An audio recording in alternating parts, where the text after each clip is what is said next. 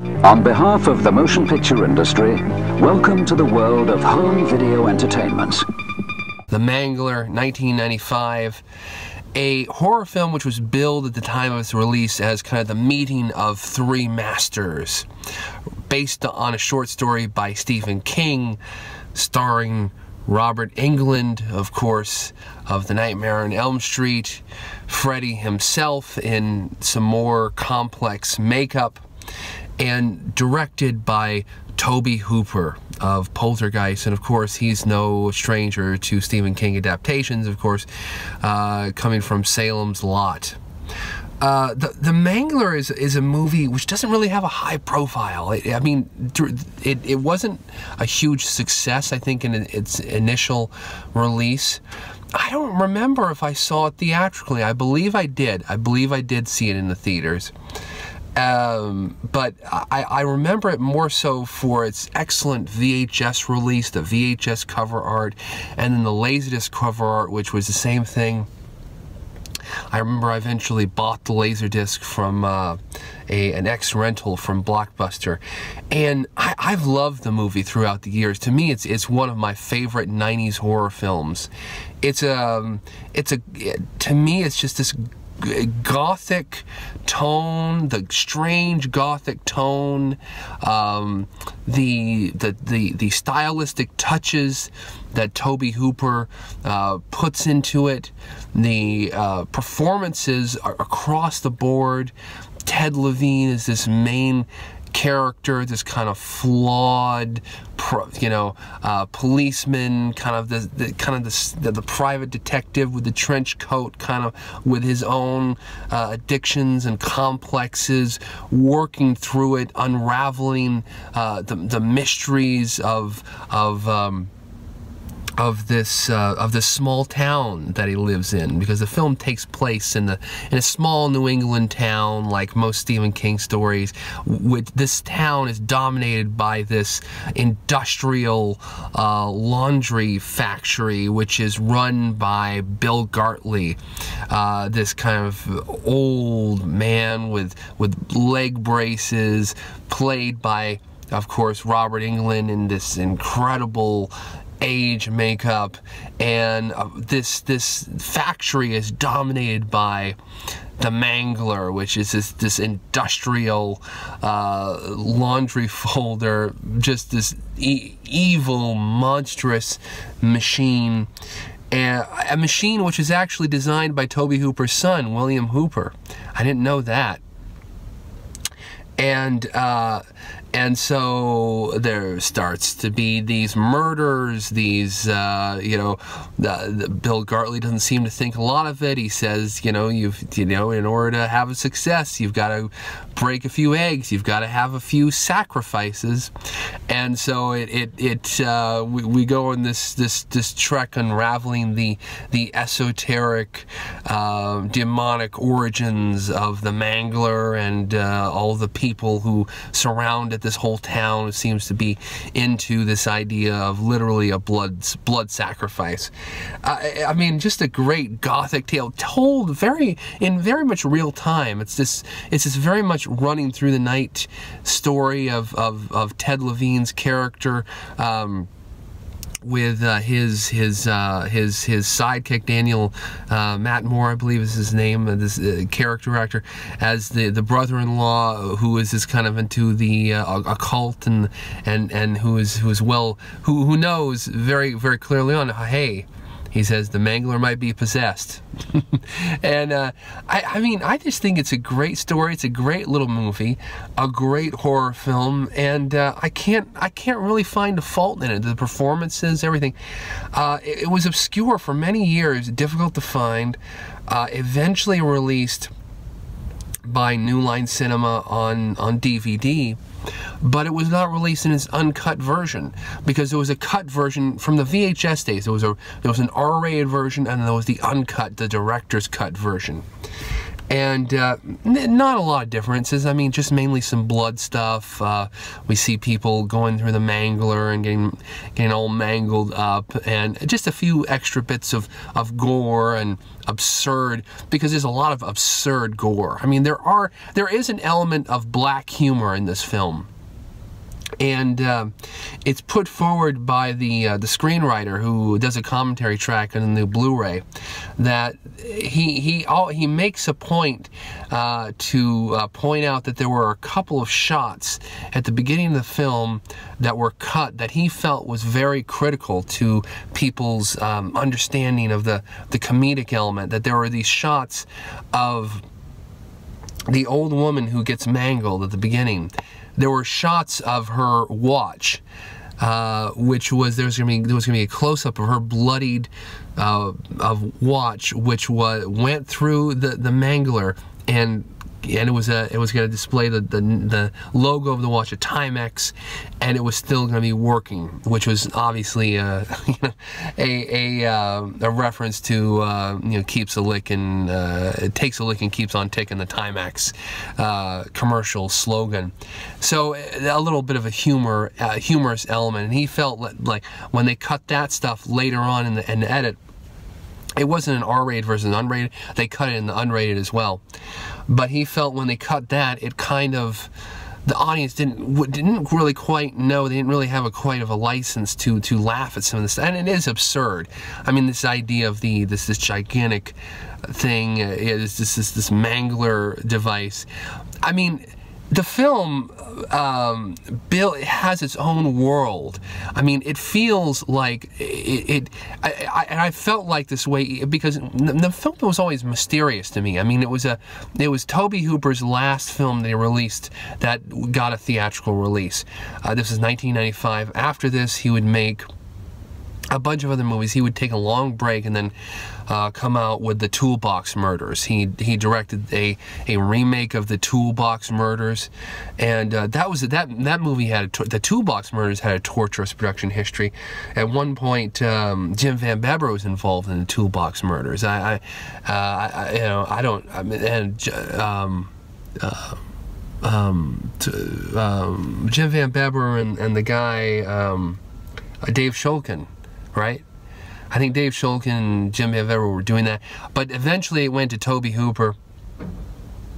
And um, and uh, he, he, he directed that, and then Mortuary, and then episodes of Masters of Horror, episodes of television series, but he never really got a, a big theatrical release after The Mangler and it's a and it, and it was a weird and and the movie is just full of these actors who you never you know where these actors come from? Where they go? They're very you know you never I mean the, the, the I mean of course Ted Levine and and and um, and Robert Englund of course you know them and but the rest of the cast is is really kind of mysterious. And and then I realized when I uh, saw this new special edition uh, Blu-ray uh, they started talking about how the film was shot in South Africa and uh, that you know really it everything clicked in in my mind because they do a really good job. I mean, the whole film was shot,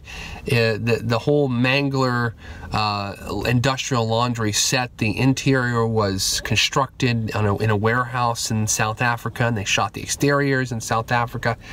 And uh, they talk about in the um, in the commentary how they found the the one strip of houses that didn't have like uh, uh, uh, barbed wire and and and high walls in front of them. They they found the one area that kind of looked like uh, looked like uh, uh, some some place in, in North America to shoot the exteriors of of Ted Levine's house in that area. But I mean, the, the film, the production design, William Hooper, uh, the, the art directors, they created this world which it doesn't, it, it, it, feels kind of out of time. I mean, I, I, think shooting in South Africa was a real advantage of finding this young, this this different talent. Uh, I mean, the, the actors in this film were a, a lot of South African actors uh, a lot of really high-level South African actors, or and also people who had been who had worked on producer Harry Alan Towers' other films, which have been shot in South Africa. Cannon Films have been making films in South Africa, uh, you know, action films and stuff. So they had a pool of talent to pull from in South Africa that was really strong, yet was people that you don't really see. Uh, in, in a lot of films. You know, if you'd shot this film in, in Canada or in uh, Los Angeles, you would see a lot of actors who you know, you'd seen in, in, other films, you'd seen people from David Cronenberg films or, you know, such and such films. You, you, you start, oh, familiar faces. And you don't have those familiar faces in this film, which I think works to the advantage. Uh, and, and the way it looks, which is, it, it feels like, again, this gothic sensibility out of place, out of time. It looks kind of like a New England town, but then it kind of doesn't it doesn't look like um, Los Angeles or it doesn't look like um, um, New England exactly and it doesn't look like Toronto either. You know films that are shot in, in Canada or Toronto they have a certain kind of look and according to uh, Robert Englund they were eventually they were, they were originally planning to shoot this film in Toronto uh, but because of the producers and uh, financial obligations and, and a lot of the things they had to go to South Africa to to shoot it, and I think it really works to the film's uh, advantage. I, I, it really is an an, uh, an, interesting film. The new Blu-ray from from Scream Factory. I mean, I mean they uh, New Line released it on DVD and Laserdisc, but it was on Laserdisc it was full screen. It was not uh, matted. It was not widescreen. Uh, the DVD was was uh, 16 by 9, but it wasn't the director's cut. And they even showed the cut scenes in a in a featurette. Uh, this new Scream Factory is a 4K transfer of the uh, unrated version, and it looks beautiful. This this new uh, Scream Factory Blu-ray it slipped out quietly at the very end of 2018, and it's really the the the, the, the release to have. Um, it has a new 4K transfer, which I, I always felt the film looked beautiful. I mean, even on Laserdisc, even on VHS, I, I felt it had a real stylized beautiful, beautifully lit. Beautiful. I mean, the the outdoors. Like there's that scene where they're walking over the uh, the little co covered bridge next to their their um, to their houses. The uh, Ted Levine character and his uh, brother-in-law character, and there's that scene where they're walking over the water, talking about what's happening in the town, and and there's all these lighting elements. The the murky uh, interior of the of the of the factory with uh, the, shoots of steam kind of going on and off. I mean, it's a beautiful, wonderfully uh, stylized film, and the Blu-ray really shows it off. The extras in the Blu-ray they're not plentiful, but this is the this is quality over quantity with this Blu-ray because first of all you get uh, of course you get the trailers you get a TV trailer you, you get a theatrical trailer though I think there were some TV trailers that I saw that, that are not on this thing There's, there was a lot of trailers the marketing for this film was really thorough um, TV trailers, theatrical trailers. Uh, you get a you get a nice series of out of uh, behind the scenes uh, video footage that I think William Hooper shot, uh, shooting scenes, shooting. Um, uh, the uh, various scenes throughout the film, mainly in the interior of the the laundry set the, they show how they shot the scene where there was that scene where Ted Levine uh, backs is is inspecting the mangler and he backs up. Uh, his back is to the mangler and part of his his coat gets uh, stuck in the mangler and he almost gets eaten up by the mangler. They they show how they shot that. They go through some of the special effects. Tobe, we see, we see Tobe Hooper on the set. We see Robert Englund on the set. There's also a great Robert Englund interview uh, where, you know, Robert Englund's a great interview subject because he'll, he's very thorough. He goes, he goes, you know, about the, working in South Africa, shooting the film in South Africa, um, uh, his makeup, which was apparently uh, one of the most intense makeup jobs he ever uh, did. It was five hours of makeup every day to to become to transform into Bill Gartley. Uh, he he goes he just he talks about Tobe Hooper. He talks about the whole thing. Uh, it's a real great interview, and then there's a commentary track uh, with uh, Nathaniel Thompson uh, moderating and uh, the screenwriter of the film. The film has many credited screenwriters, but really it was this mainly this one guy that Tobe Hooper knew who there were there were a lot of scripts circling around, but Stephen King had uh, had approval of the scripts, and Stephen King kept turning down all these scripts. So they pitched this idea uh, of a way to transform the short story into a uh, feature length film. This screenwriter pitched it to Tobe Hooper, came up with a pitch, wrote the script, and apparently that was a lot of his work. Though a, a, lot of people, a lot of different, there were a lot of different screenplay drafts, and they were they even talk about in the film how there were some there was some uh, on set uh, rewrites and stuff. It was so it was a, it was a film that was really in flux. But he gives a lot of, of background information on the film, on the making of the film, on the characters, on shooting in South Africa, on how uh, so, I mean the, the lead the lead actress in the film, Sherry, she's totally redubbed. And I mean, the film does, it really pulls off this, it doesn't, it, you know, there are a lot of films like in the 60s and the early 70s that were like shot in the UK and they tried to pretend like they were in North America and they were not successful. This film is successful. You don't really feel that it's uh, it's shot in South Africa. It, it just has that out of place feel, and none of the.